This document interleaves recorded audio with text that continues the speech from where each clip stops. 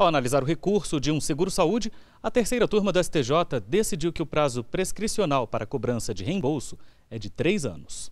Plano de saúde e seguro-saúde são coisas diferentes, mas por causa da natureza do negócio, tem regra de um que se aplica ao outro.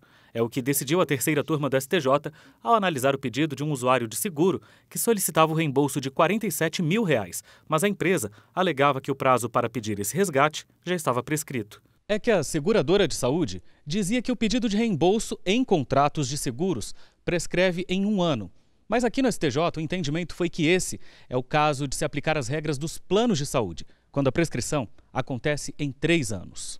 Para o ministro Vilas Boas Cueva, o prazo prescricional de um ano é próprio das relações securitárias, mas não pode ser estendido aos seguros de saúde, pois possui mais similaridade com os planos de saúde. Por isso, os seguros do ramo têm que seguir as normas da ANS, a Agência Nacional de Saúde Suplementar. O ministro também defendeu que esta é uma forma de evitar que a empresa lucre ao reter arbitrariamente os valores pagos pelos segurados. Ele lembrou que o STJ já tem jurisprudência sobre o assunto e os demais ministros da turma seguiram o posicionamento do relator.